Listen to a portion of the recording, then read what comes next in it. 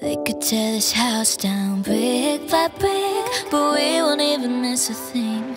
All we have is love. Uh, we started from scratch and built this fantasy of this world where happiness takes first place and love comes before everything. No, lose it all, everything. As long as we got you and I, you and me. In the end, the thing that we need to cherish the most is love. And it's not just love for, you know, your significant others, but it's love for your friends, it's love for your family, it's love for your dog. It's just like loving everything that you can possibly love with your whole heart.